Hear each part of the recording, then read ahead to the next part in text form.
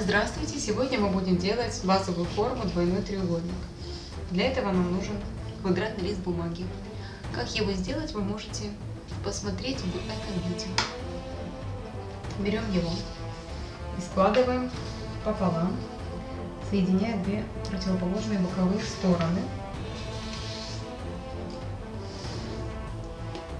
Затем еще раз пополам, соединяя две противоположные стороны. Точно так же.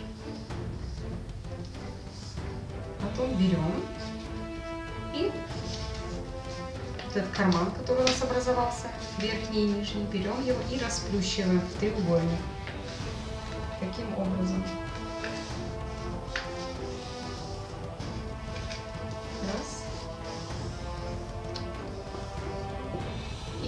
Переворачиваем.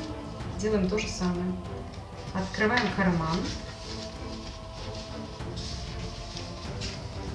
И расплющиваем образовавшийся треугольник.